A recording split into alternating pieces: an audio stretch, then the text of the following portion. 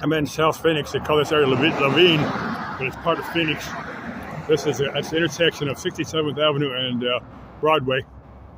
Broadway in Phoenix is uh, not the glamorous Broadway that uh, may have been named for a guy named Broadway, but I may be wrong on that. May just been a real broad street back in the 1800s. Uh, but uh, anyway, that's where Sam's shop used to be. I haven't been down this direction in a year or so. I, I got a video of uh, Sam's shop. Um, you know, I posted on YouTube for a couple years back when I was down here. But uh, Sam's shop ain't, ain't there no more. Let me spin you around here. Go past this section. There's building more homes in here. Let me get past my pickup here. There's homes. They just built a bunch of new homes right in here. And you can't see it. I've got some videos from it. The time I had so much time to kill. I got to build some more homes in here. Um, I'm, you know, they're not not gated, but they just got a fence around them, you know, a brick wall around them. There's junk out here. People dump stuff, but uh, a bunch of new homes. I'm sure there's people living in there, but uh, I'm sure these people. That's Estrella Mountains, part of the chain. The chain runs quite a ways. Uh, it, it, goes through central East Phoenix and goes quite a ways west. But uh, I don't know if you see it. It's about another half mile south of here. But that's it. That's a Salt River the Salt River and our and the Gila all run together and they form the Gila River and then they dump into the Colorado.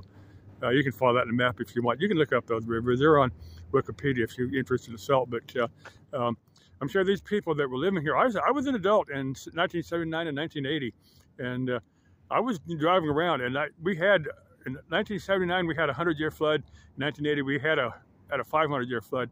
I guarantee you, I would, if I'm standing now, even though it's, even, even though it's maybe probably about a mile from the Salt River, I would have been underwater. It was that volume of water coming through here. Now, the, the Salt River Project is one of the companies that uh, manage, you know, they, they provide electricity, but they also provide water.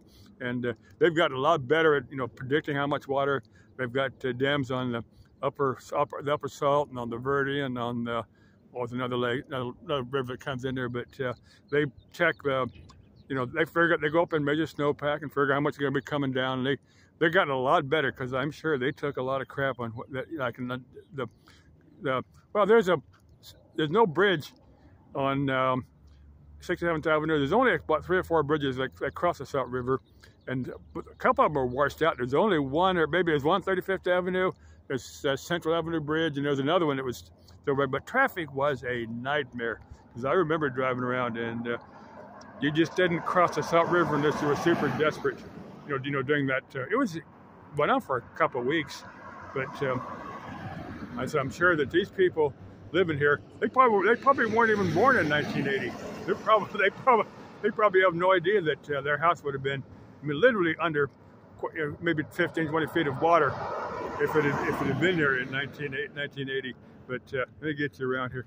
So I doubt that's ever going to happen again because they've gotten they've gotten good at figuring it out. But it's just I wouldn't buy a I wouldn't buy a house in the that's that's actually considered floodplain because that is considered. Now that county's got paid on the table and it's not not not technically under the floodplain, but actually it is.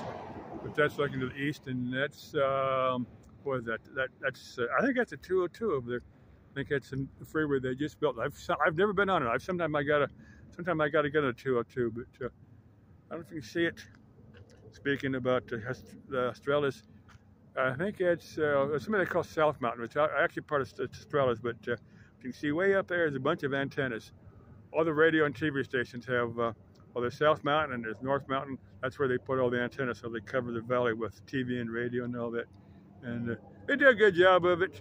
Okay, I'm gonna say goodbye here from uh, where Sam's shop used to be. Just remember it it, I don't remember ever. It, the building was vacant first time I remember seeing it. I don't remember ever. I don't. I don't remember ever seeing a working business there. But apparently, sometime in the past, it had been. Bye bye.